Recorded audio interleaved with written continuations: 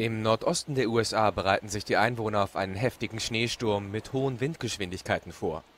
Am Montagabend kam es durch die winterlichen Wetterbedingungen auf einer Schnellstraße in Chicago zu einem Unfall.